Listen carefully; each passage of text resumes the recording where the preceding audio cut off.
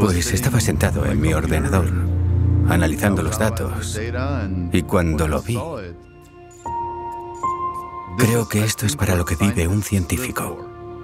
Lo que descubrimos fue asombroso.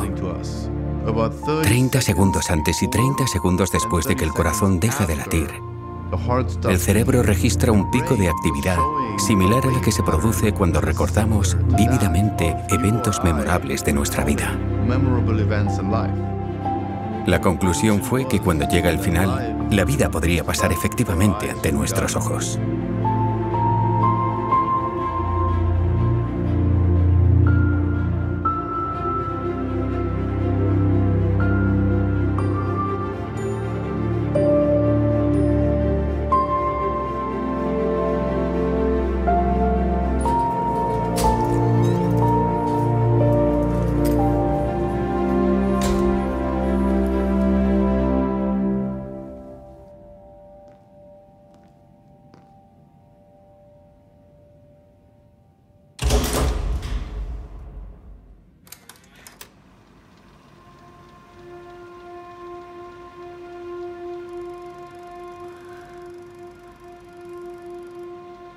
El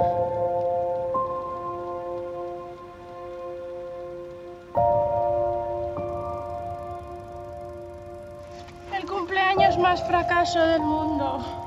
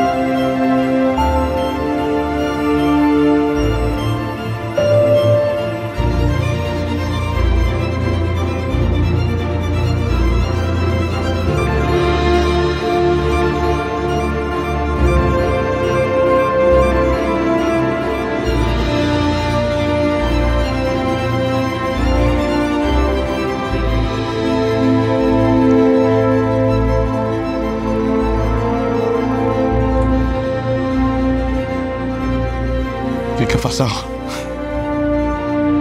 Es toda una vida por delante. mi familia, mis hijas, mi marido, mis amigos. Todo. Eh, son mi vida. Sin ellos no, no existiría. Nos vemos por muy poquito.